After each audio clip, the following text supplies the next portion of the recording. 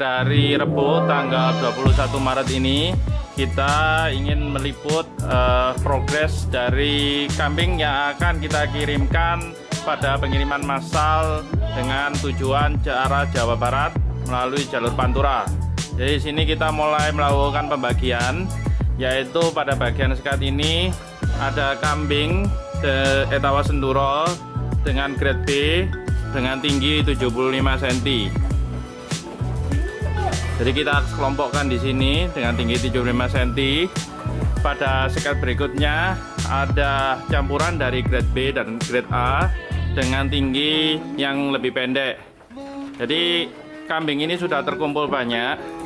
Yang ada ada sekitar yang kurang sekitar 10 eh, ekor yang targetnya akan kita penuhi esok harinya. Jadi memang untuk pengiriman massal ini memang membutuhkan waktu untuk pengumpulan karena kita memang tidak sembarangan dalam uh, menseleksi kambing yang akan kita kirimkan karena harus memenuhi baik dari segi kualitas maupun dari segi uh, yang lain kesehatan maupun uh, spek yang diingin sesuai dengan keinginan dari customer. Jadi kita akan selalu update progres dari pengumpulan kambing untuk pengiriman uh, massal dengan uh, tujuan Jawa Barat melalui jalur Pantura.